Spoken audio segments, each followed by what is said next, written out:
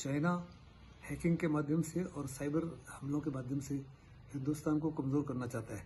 वो चाहता है कि हिंदुस्तान के ऊपर हर प्रकार से हानि हो और हिंदुस्तान को ज़्यादा से ज़्यादा साइबर वॉर के फेयर के माध्यम से और हैकिंग के माध्यम से नुकसान पहुँचाए। चीन साइबर वॉरफेयर और हैकिंग के माध्यम से हिंदुस्तान को बड़े तरीकों से कमज़ोर कर सकता है। वो लड़ाई होने से पहले हिंदुस्तान के फाइनेंशियल सिस्टम को डिस्टर्ब कर सकता है। हमारे ट्रांसपोर्टेशन को पावर डिस्ट्रीब्यूशन को वाटर डिस्ट्रीब्यूशन सिस्टम्स को तहस नहस कर सकता है जिसमें देश में बहुत हाहाकार मच सकता है और हमारी मोबिलाइजेशन में और बिल्डअप में काफ़ी से ज़्यादा रुकावटें आ सकती हैं। हिंदुस्तान को इससे डील करने के लिए बड़े विकल्प हैं। कुछ विकल्प तो हमने ऑलरेडी एक्सरसाइज कर लिए हैं। हमने चाइनीज़ के 59 ऐप्स को बैन किया और फौज को कहा कि 59 15 जुलाई तक 89 ऐप्स को और बंद करने के लिए।